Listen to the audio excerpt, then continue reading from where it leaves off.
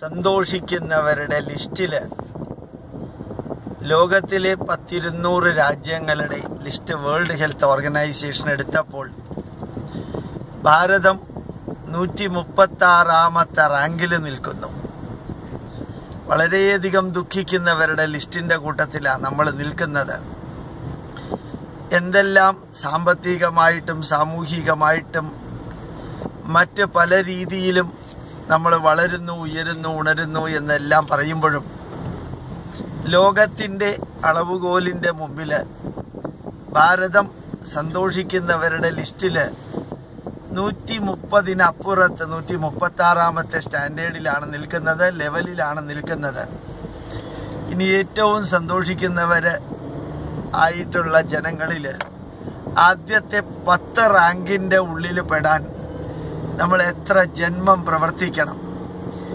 ഏതായാലും കേരളത്തിലെ ഹിന്ദുക്കളുടെ ലിസ്റ്റ് എടുത്താൽ സന്തോഷിക്കുന്നവരുടെ ലിസ്റ്റിലെ ഇരുന്നൂറാമത്തെ ലെവലിലായിരിക്കും അവർ ഇവിടെ നടക്കുന്ന നവോത്ഥാന മതിലിന്റെ പുറത്ത് കയറിയവർ ഒഴികെ ബാക്കിയുള്ളവരെല്ലാം ശരിക്ക് വേദനിക്കുന്നവരാവും. കേരളീയരെ ഉൾപ്പെടെ ചേർത്തിട്ടായിരിക്കും പറഞ്ഞിരിക്കുന്നത്. ബാക്കി ഭാരതീയരുടെ കൂട്ടത്തിൽ കേരളീയരുടെ ദുഃഖം കൂടി ചേർത്തപ്പോൾ ഭാരതീയർ മൊത്തത്തിൽ നൂറ്റി മുപ്പത്തി ആറാമത്തെ റാങ്കിലേക്ക് പോയതായിരിക്കും. ഏതായാലും വ്യക്തിപരമായിട്ടും കുടുംബപരമായിട്ടും സാംസ്കാരികമായിട്ടും നമുക്ക് കുറേ കൂടി സന്തുഷ്ടരാകാൻ ശ്രമിക്കാം.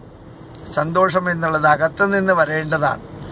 അകത്തു നിന്ന് സന്തോഷം വരാൻ ആത്മീയതയും ഭൗതികതയും സമന്വയിപ്പിച്ചുകൊണ്ട് പഴയതും പുതിയതും സമന്വയിപ്പിച്ചുകൊണ്ട് നമുക്ക് നല്ല രീതിയിൽ മുമ്പോട്ട് പോകാൻ സാധിക്കണം. ഇതൊരളവുകോലാണെങ്കിലും അല്ലെങ്കിലും ദുഃഖിക്കുന്നവർ ഇന്ന് കേരളത്തിൽ ധാരാളം ഉണ്ട് ഭാരതത്തിലും ധാരാളം ഉണ്ടാവുമായിരിക്കാം.